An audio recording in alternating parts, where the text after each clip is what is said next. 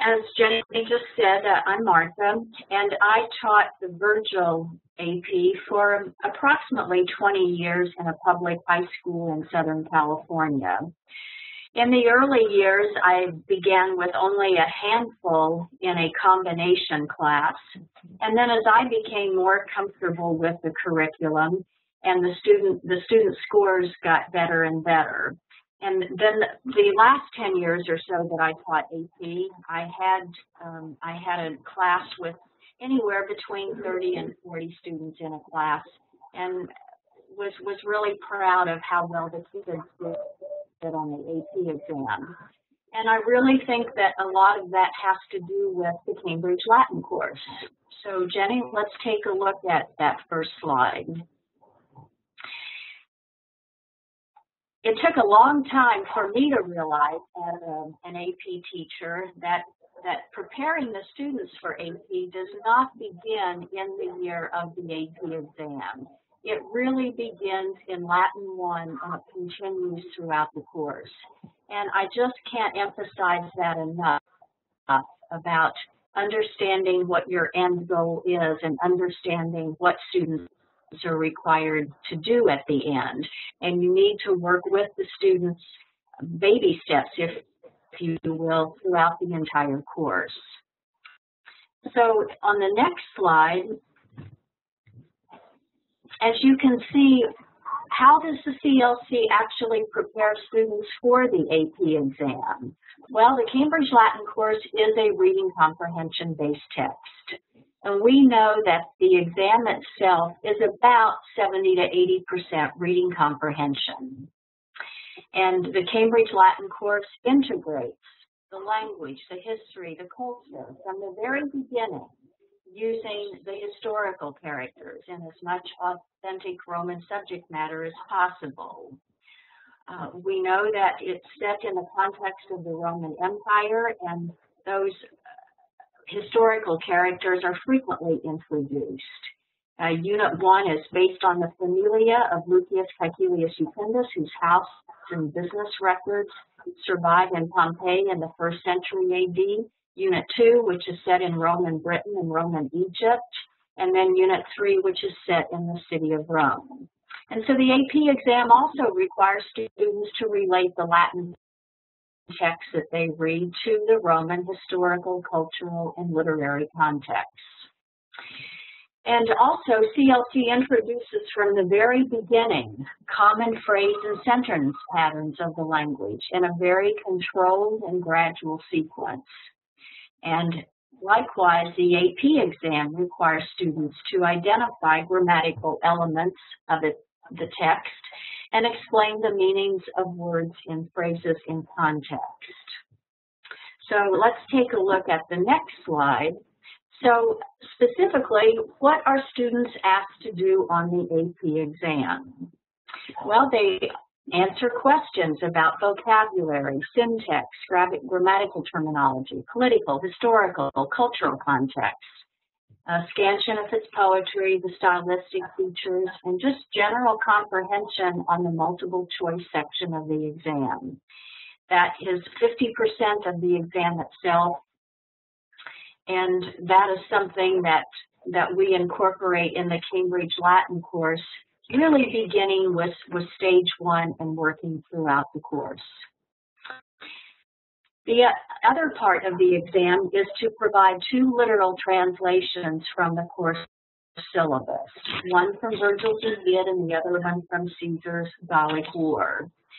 And Donna's going to show you a little bit about how to deal with literal translations right from the get-go. And then the third part of the exam is to write an analytical essay from two excerpts that are provided from the reading. And students have to provide a very detailed analysis of the text and refer specifically to the Latin found in those excerpts throughout to support their arguments. And in uh, this analytical portion of the exam requires focused practice in order to express critical and reflective reading. And Larry is going to give you examples and show you how to do that momentarily. And then the very last part of the exam is answering a series of questions, including a literal translation, a grammatical constructions, a contextualization, and connections to the English readings. And those last two questions of the exam only make up about 15% of the exam as a whole, and that's really where I'm going to start and show you what those last two questions on the exam look like and show you how you can incorporate that from the very beginning of the Cambridge Latin course. Uh, Jenny, let's look at the next one. Oops. So here's an example from question number four on the, AP exam, and as you can, it's considered a short answer question. And just take a look at some of the things that student, uh, students are asked to do. Name the speaker. Um, write out and scan if it's, it's poetry. And in question number three, notice it's um, it's just a general question but, but notice then that the students have to actually write out the Latin that supports the answer. And that's a, a really big part of the AP exam is supporting your answer with the Latin. And there's the translation question. And then if you look at question number five, um, here's a, a good why question. So this requires a little bit higher level thinking skill on the part of the of the test taker. Question number five looks very similar. So this one is from the Virgil, and let's look at question number five. And as you can see, it's very similar. There's the why question. Uh, who is the speaker of the words? Another why question. And number four, there's translating, um, identify the grammatical construction, and then lastly, give a specific example. So these questions number four and five are very, very focused. And this is something that you can begin doing in the Cambridge Latin course beginning in stage one and as early as stage three. So let's take a look at a story in stage three on the next slide. So here we have the story Tonsor, and notice the questions that are already provided for you. And once again, we see a lot of these same similar type questions that we just looked at, which were part of the AP exam, the, those number uh, four and five questions. So there's our who question. And uh, number two, notice that we've got the why question. Students read the paragraph and explain why. And you can step it up a notch. If AP is your end result, you could also ask uh, students to, to provide the Latin that actually answers that question. I'm sorry, I'm I'm sorry, Martha. I'm interrupted because we have a couple people who do not have audio. They can't hear you. Um, just give me a second to see if I can figure out why. Um, I don't see a way to fix it for them, unfortunately. Um, give me one more second. Um,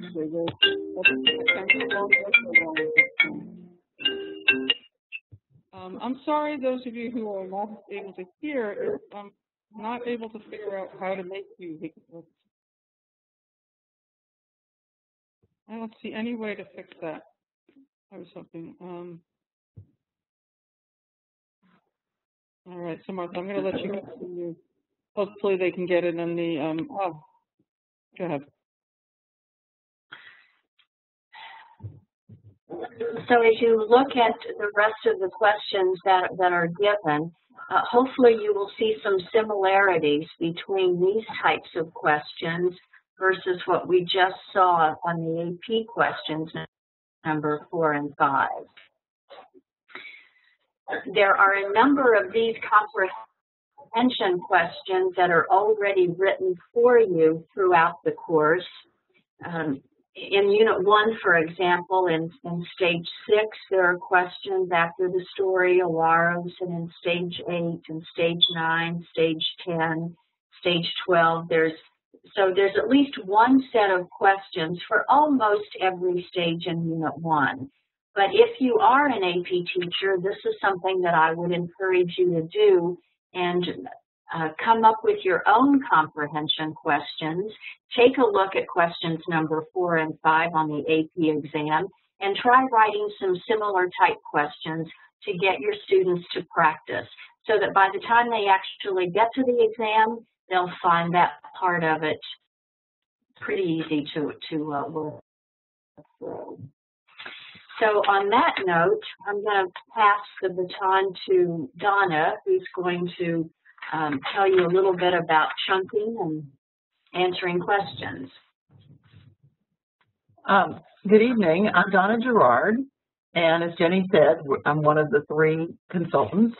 Um, I've been teaching AP since the late 80s, and I started doing it at first because I knew I could have smaller classes. I'm sorry.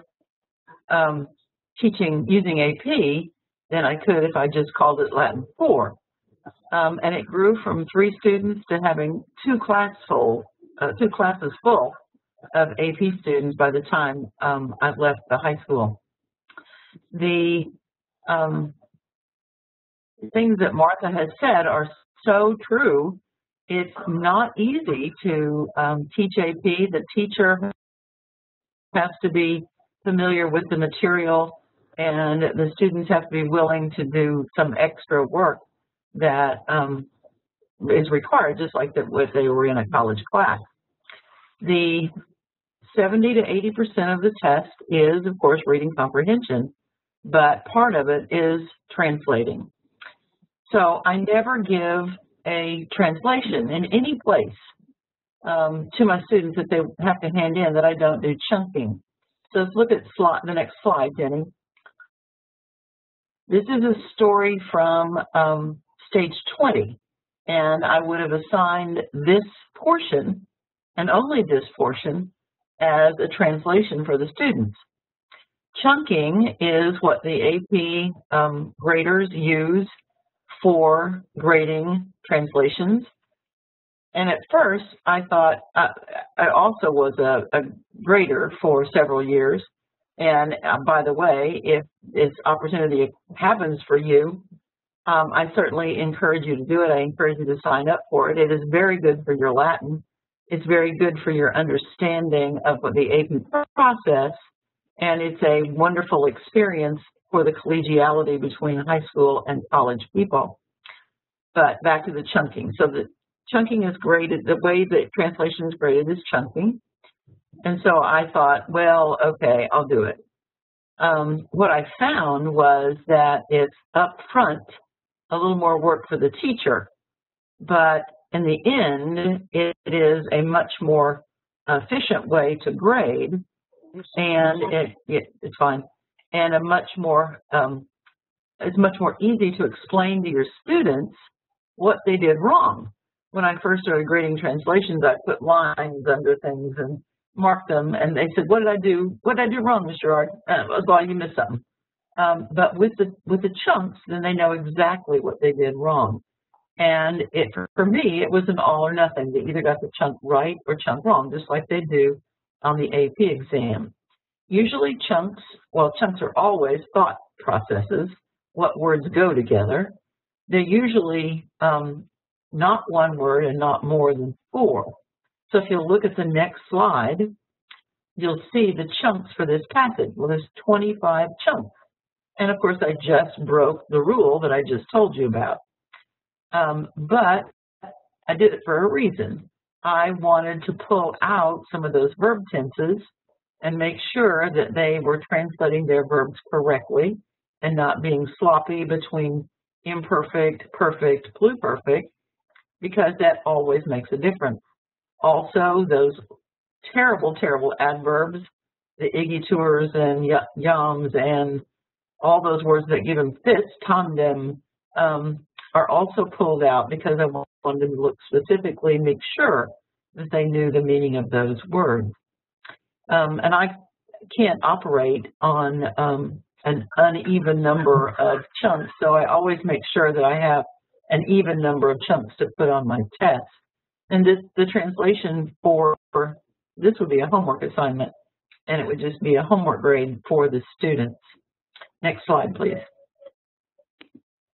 This is the way the chunking looks for AP, and I have adopted the very same way to do mine. Um, you see the Latin to the left, and then you can write whatever translations you will take. In each little box, it would have a student's initial at the top, and you would mark um, every one that they got right with the one or a check, whatever your method was. Um, it made a very clear presentation for you when you looked at the whole thing to say, you know, I really need to spend some time on those deponent participles. They don't have this down yet. This is from stage 29. And again, I broke one of my rules. I just said this only has 14 points on it. So I would add one quality point. Sometimes kids got um, the translation, did a very nice job with the translation, but missed something, missed several somethings. And so this was a way of rewarding them for doing a good job on the translation. And then, of course, there are other times when the kids got the individual phrases correct, therefore they've got a high score, but they missed what the what the translation really was. So I would add a quality point. So that would be worth 15 points. Um, you can add any number. It doesn't matter if you want to add five. It doesn't doesn't matter or three. But um, I would add one or two quality points on each translation. Again, this is something that I would hand out and say, translate um, the this last section of this story. And of course, the kids always say, you, you can't quit there. We have to finish reading this. Well, no, I can quit, and you translate it and find out what happened yourself. So um, that this addresses the, the translation section of the test. Next slide. Can I ask a question before we go on? So, um, like here with this first one, you would um, you would you would write if there were two different ways to say this, you would write them both here so you knew what you would accept. Right. Exactly. Okay, I'm we sorry. Are or we are those who. Yeah, that's what I was thinking. Okay. All right. And that, okay, that makes sense to me now. Okay. Now this is an extra story. You can find these diagnostic texts in Appendix um, A of the teacher's manual, and they're wonderful extra stories to have um, for those times when you have time, and I usually do, to read another story or you need them to have more practice with reading comprehension. They're written, of course, in Cambridge style with Cambridge vocabulary, so it makes an easy fit into your class time and you can tell by the very first word that it goes along with uh, the Modestus and Strythio stories in um, that section of the book. So this would be um, sometime after stage 22. Um, so they have this, there's three sections of this story, and this is the first section. And you can use it as a reading comp. Next slide and ask these questions. And again, this is practicing using the Latin that they find in the story and tra translating it just like they have to do on the AP exam. They need that practice to smoothly put Latin inside um, their sentence. They, they can put it in parentheses, they can incorporate it. It doesn't matter to the AP graders but it does matter to how what their flow is and what their sense that they can make out of it. So this is six questions you could ask about that previous story. The next one? Oh, sorry, I thought you were going back. No. And then this is another section of that story. It goes on. And so I only picked out a couple of questions for this small section. But that isn't um, what, what you need to do for AP. They can answer these questions. These are really pretty straightforward questions. It's the next slide that um, answers the questions, that asks the questions, sorry, that you more need to ask. You want to look at the whole passage.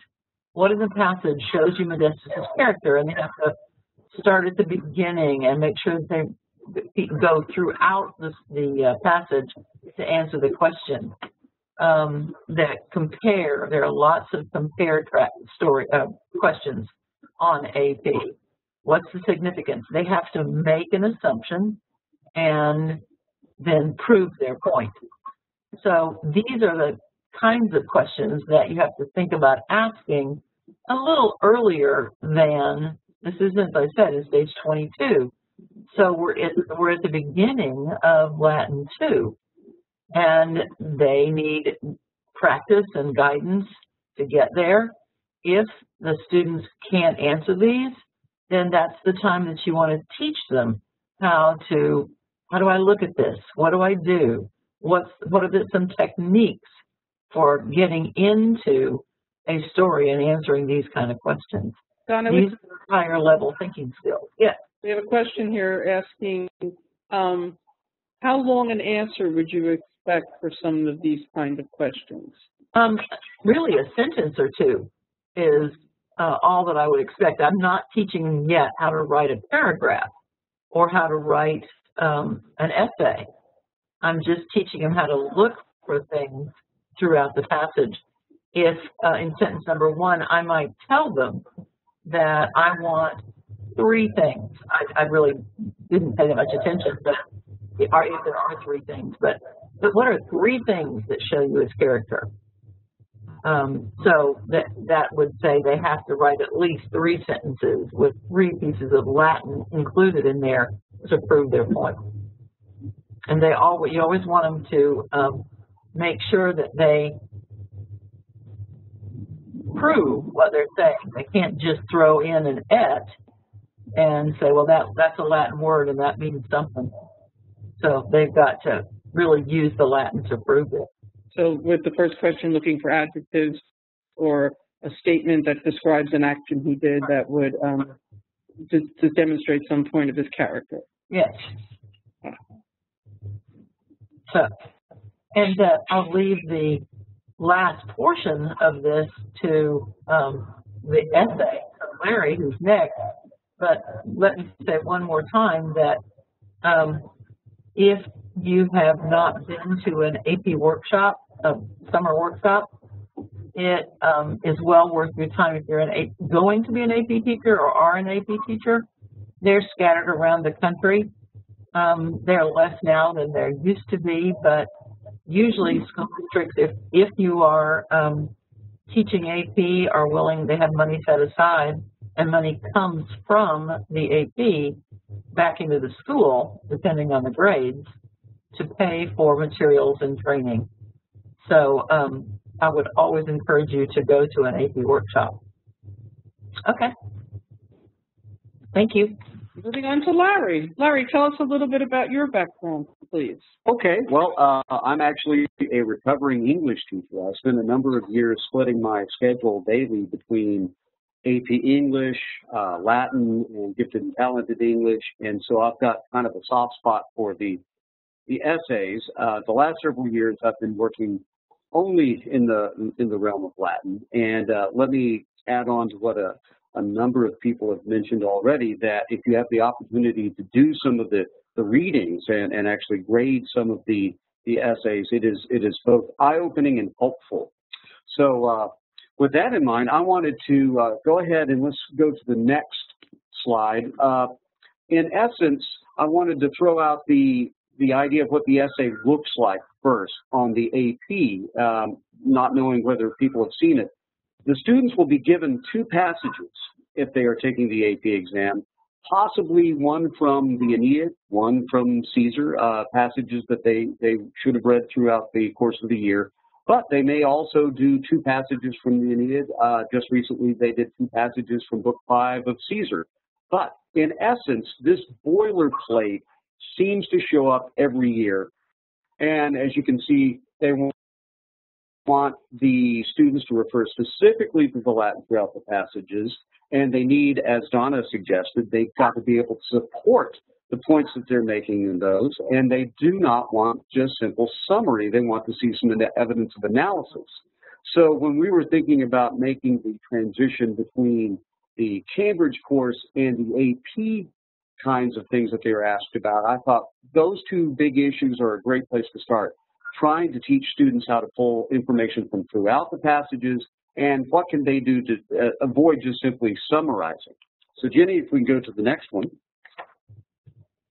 This is a 2013 uh, chunk of text. It's one of the texts that they would have been given. And of course, what they would have been comparing is a uh, a leadership style of Dido as as compared with Caesar. Uh, I only brought put one of the passages up for the purposes of ease.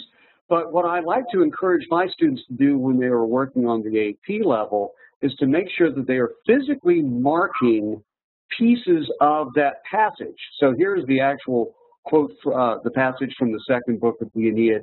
And I want them to think about at least three chunks, so a beginning and a middle and end, and I've gone ahead and put over on the other side, sort of color-coded, uh, probably the higher end essays are pulling out of every three or four lines, and some of them may be able to pull information out of every couple of lines, but I want them to actually mark those off on their paper. And I use similar things when I'm teaching the Cambridge course. In fact, in this moment, we'll be looking at some text from stage 22 uh, where we have the in information about the, the but I want them to actually mark these things down.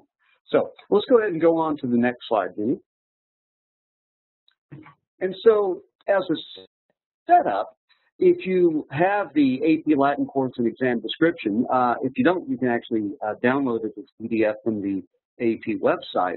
But they have basic themes, uh, including some essential questions like what roles do the gods play, how are these gods perceived, and how and why do human beings and gods communicate with one another, which leads very nicely into a question that is asked on page 30 of the teacher's manual that comes with the Cambridge Latin course, which is, what does the use of defixiones suggest about the popular conception of the gods? So what I might do and have done is to pull uh, a couple of a uh, couple of quotes out just to sort of take, as Martha called, the baby steps of getting these these kids ready for this this kind of uh, uh, analytical approach to the literature. Jenny, if we can have the next slide. So here are, and they are they are not contiguous, but a couple of quotes from the story Vilbia in stage 22. And you have Vilbia, who is is talking about this wonderful character that she's just met in her father's bar, and Rubria, who is uh, perhaps a cooler head and, and is uh, a little more concerned about some of the, the, the possible outcomes. And if we can go to the next slide, what I've done is uh, ask my students to look at these passages, and I want them to actually underline what they could talk about that might address the issue of the divine or how the gods or supernatural powers might intervene. And so when I've done this, they've identified the nature of the sacred water. They've identified that Modestus is praying to the goddess and uh, apparently has uh, recovered, or at least told people that he's recovered. Rubria, of course, the, they pick up on the fact that fortune is sometimes presented almost as a personified goddess in her own right. And so when she says fortune favors you, they They've identified that as something they could talk about. And also that this character Bulbus seems to have some means of communicating with powers beyond himself because he understands how to do magical things, and so it might be rather dangerous. And so those are excellent places for them to, to literally underline what they're going to talk about if I ask them about this, this kind of involvement with the divine. Let's go on to the next one, Jenny. Also, we have uh, the the the forlorn uh, boyfriend who is, of course, gambling and uh, perhaps uh, drinking his his troubles away, um, perhaps not terribly successfully. And again, I would have the students look at this passage and ask them, all right, with these two guys in their conversation, what would you identify as good, solid Latin support that there is some involvement with the divine or the gods uh, beyond uh, just sitting around in a bar? And let's go to the next one. And of course, they've picked up the idea of fortune or luck possibly being a thing that they might want to discuss.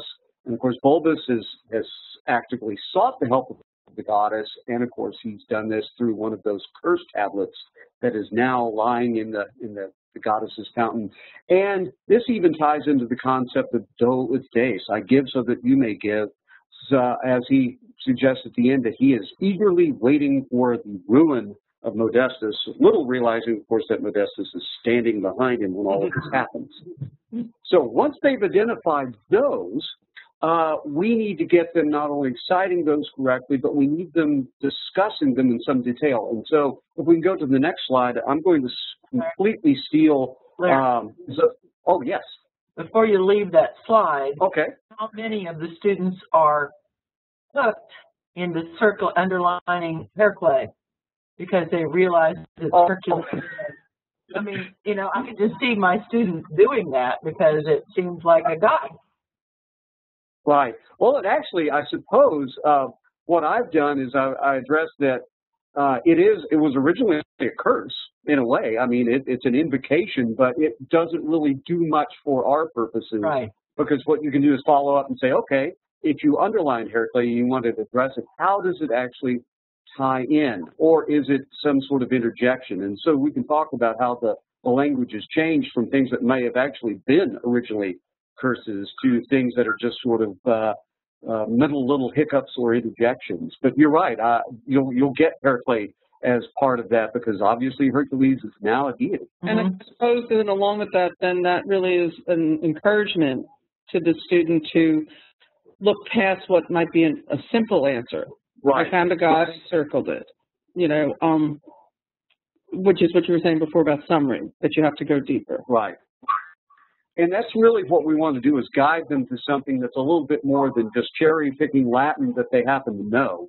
Although, you know, that, that certainly happens. But, but again, that's not going to get you very far in, in this kind of assignment. If you're just sort of pulling out, as Donna said, the et occasionally, uh, or, a, or the occasional hercle. Let's go on to the, uh, the next slide.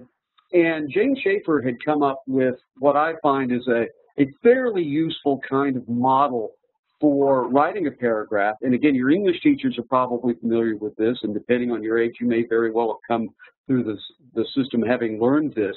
But she suggested a, a simple formula that they can follow, which I, I think pulls them beyond just simply quoting the Latin and summarizing it. One, of course, is, is coming up with a topic sentence where they would interpret the material. So our question about the defixiones, the concrete detail that Schaffer would want uh, in for our purposes would be either the close Latin paraphrase or the Latin citation, the what that would tie back into our involvement with the, the powers beyond us. And then Schaffer wants two sentences of commentary that would essentially answer the question, so what? So he has thrown a curse tablet in, or oh, uh, he has he has sought help from the goddess. So what? What does this suggest? And so a couple of sentences that follow up on that, uh, if you can get this idea sort of ingrained in them that just simply finding the Latin and translating it isn't enough, they need to actually discuss and analyze what's going on, and ideally be able to come up with some sort of closure or a concluding sentence with even the cat, uh, a couple of tags there for you as a result or therefore. And so we, we need to have that, that step from the quote or the paraphrase to the therefore stage. Let's go on to the next one. May I interrupt again? I'm sorry, you're making me think of things. Um, the- the instructions in the AP say that they can list line numbers Right. uh, and instead of writing out the Latin. And I got to the point where I didn't let them do line numbers. Um, I made them write out the Latin because I felt it made them more secure with their Latin. Um, I, I agree. I actually just got through grading a very similar exercise with my AP students last week, and that was one of the things I mentioned to them to remind them because I think not only does it make them more familiar with the Latin, I think it really causes, it forces them to isolate, again, what they're going to be talking about, because you can end up with what I call it static, but a lot of additional stuff that can be sort of dredged in if you're just quoting line numbers.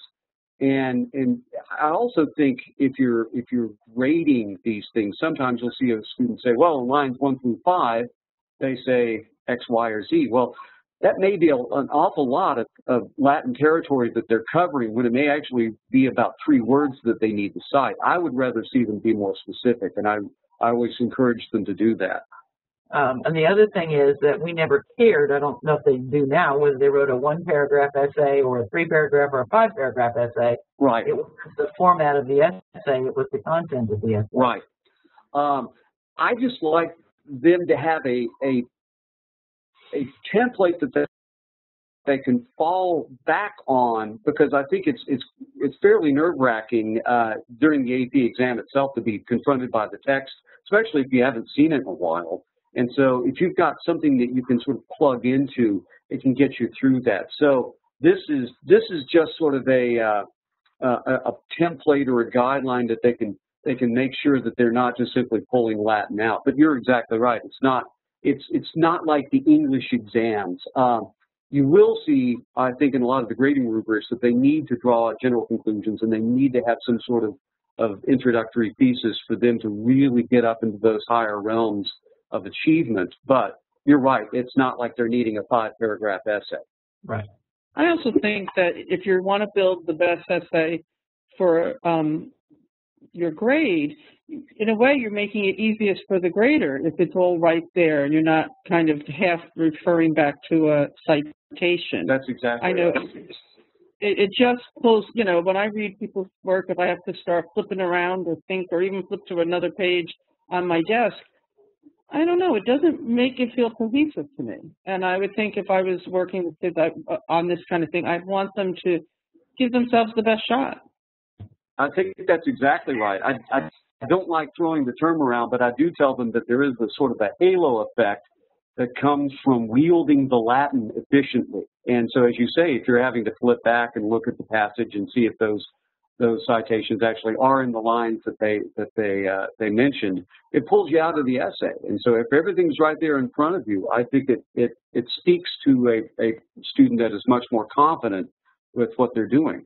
And again, you can start with, with fairly simple baby steps, just getting them used to being able to cite the specific things they want to talk about and then moving on into an analysis of them.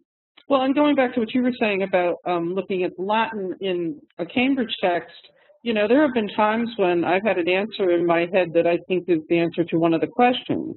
And the student who can say, yes, but, he didn't he say blah, blah, blah, you know, up here in Latin? And he gives me the information I'm more likely to respond, you know, and take, but if I have to start looking myself and, and it takes me out of my flow as a teacher, I'm not as quick to want to, you know, deal with that. And so I think, you know, sometimes it's a sad thing to say, but in life you also have to be um, conscious of the impression you give.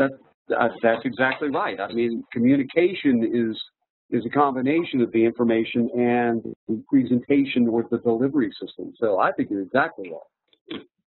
Shall we move on? Uh, let's do if you if you have students that are not comfortable with the commentary sentences or not quite sure what they need to be doing, this is a little list of phrase formulas that Jane Schaffer suggests. Again, this is sort of lowest common denominator stuff, but if you can get them to start the sentences with this shows that, this suggests that, this is important because then I, I sense that they are being forced to move beyond just simply citing a, a, a Latin word or a phrase, giving a translation or a paraphrase of it, and then moving on.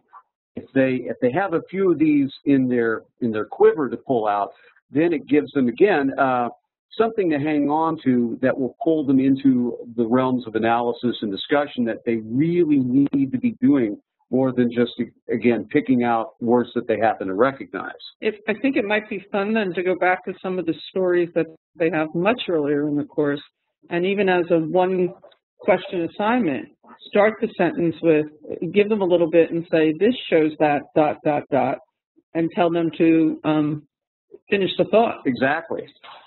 And Cambridge is, is so good at following a, a line of thought. And, you know, I tell my students it's a, it's, it's a four book novel that they'll keep those plot lines in the back of their head.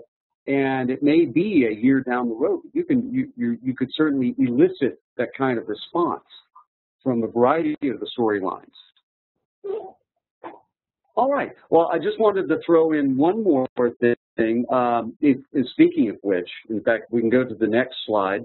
Uh, of course, all of this had been uh, pulled out of stage 22. If one wanted to go back to stage 21, while we're on the subject of people that are engaged with the divine and trying to find uh, some sort of result or a, uh, a, a return on their investment as well. Of course, here we have the king discussing that he uh, is not feeling terribly well, but is seeking advice about where he may turn, and and uh, is interested in going to Aquae Sulis. Uh, he's he's been a a good worshiper of the goddess in the past, and now perhaps she's able to to take care of him. So again, you can reach back a stage or two and, and pull out other examples of this as well, which ties back into to, to uh, Jenny's comment that you can you can go back to other parts of this narrative and and do that. What does this suggest? Why is this important? So I think that's what I had on on an essays, but you guys have been wonderful about asking fine questions. Oh, look, questions. well, um, the only question we had was um, again, uh, how often do you um, when you're when you're teaching the Cambridge Latin course, how often do you do the kind of um, essay that you were just talking about as you're teaching them along the way?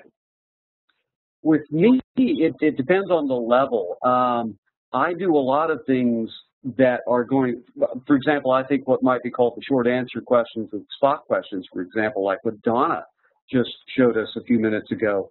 That's a great place to start because all of that builds nicely into the essay. So I may start in the with younger students with that sort of thing, and then uh, probably at least once in six weeks, I can pull some sort of text in before them and, and have them either work through it in class, which is what this, this would have been, or actually just uh, suggest, hey, you might want to give a close look at these stories because I've got an essay in mind and drop a few subtle hints so they'll they'll be able to think about it. And uh, by the time they are in later uh, in levels two, three, and four, I like uh, I like those things to appear on their tests from time to time so they get used to the format. You, this is my own question. Do you ever, um, somewhere in the course, walk them through writing an essay together? Yes, that's exactly how we we uh, we tend to do that uh, a couple of times, in fact, because I want them to see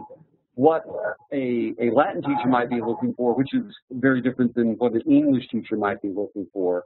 And then when we start moving into literature, um, especially, for example, uh, oh, if, if you're in Unit 4 and you're reading some of the things by Ovid and Martial, that's a great place to really come up with some things where uh, we could discuss what, what Martial's doing in his description of the palace, for example, in, in stage 36. And so we'll sit down and we'll tag team with that. Okay. Uh, thank you, Larry. Don, I have a question for you. It says, how often do you do a translation? And I thought you didn't do translations in CLC. I don't um, do it very often.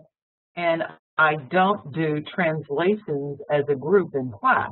It would be an assignment, and I might do it once every other stage. I might assign a translation even though I say I don't translate, I want them to know how to do it because my end game is AP. I want them to be able to be successful on that AP test. Um, so to answer uh, part of what the other question was too, is that I do essay writing oftentimes in 30 minute segments in class. because they have to get used to being, doing a timed writing. Uh, they don't have time to, to write a draft and write, rewrite a draft and all those things when they're taking the AP exam. They just have to write. And so, and it's very, as Larry says, very different from English, but a lot of my sophomores and juniors would be taking a history course at the same time, an AP history course. And the writing on the uh, database questions, the DBQs, and writing for a Latin essay are very, very different. So I've got to teach them the differences between the two styles of writing too. And can I maybe put this thought out and you can tell me what you think about this? We don't, with CLC, translate for comprehension. We read for comprehension. When we translate, it's to maybe display a, um, a level of clarity about how the language itself works. Yes. Right? I mean, you know, I would never want a, a child to spend 20 minutes just painfully trying to figure out what every word is saying um, so they can tell me all the grammar information or all that. Um, I'd much rather teach them to read, as you say, chunks than to look for context clues and all that wonderful stuff that makes reading smooth and quick and fun um, or, or entertaining maybe. Um, and then when you go back and you look at the language and you say, well, what was happening there? In essence, you might be translating a few words. Mm -hmm. time, I, that little tidbit that you're doing as a homework or as a five minute in class thing is really as much a checking for understanding, do you get all the fine details, right? You know. The other thing is that there's a difference between reading comprehension, understanding what's going on, and translating. Absolutely. Um, so, and they happen in two different places in the brain. So we've got to make sure that they can understand it, yes, and then the translation is a you know a different kind of skill. So we thank you for coming, and I thank Larry and Martha and Donna for being absolutely wonderful. Um, and we hope you'll be back next Wednesday.